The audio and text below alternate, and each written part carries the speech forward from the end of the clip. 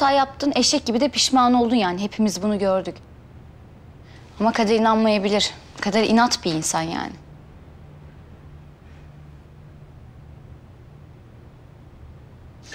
Bu işlerden anlayan birine inanır belki.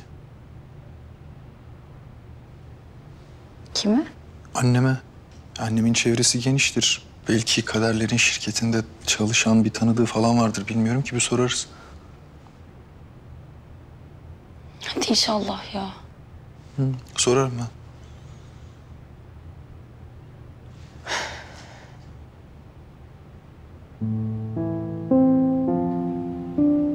Cemre? İyi misin sen?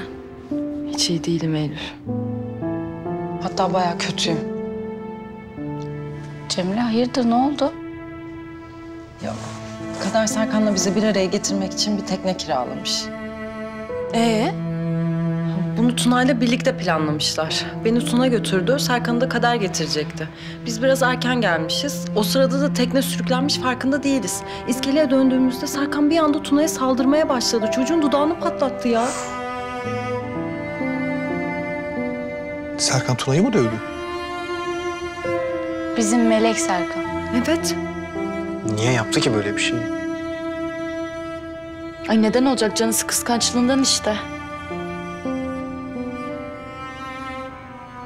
O kadar öfkeliydi ki ben Serkan'ı hiç böyle görmemiştim.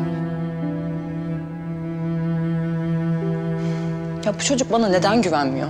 Ben birisinden hoşlanacak olsam karşısına geçer söylerim değil mi?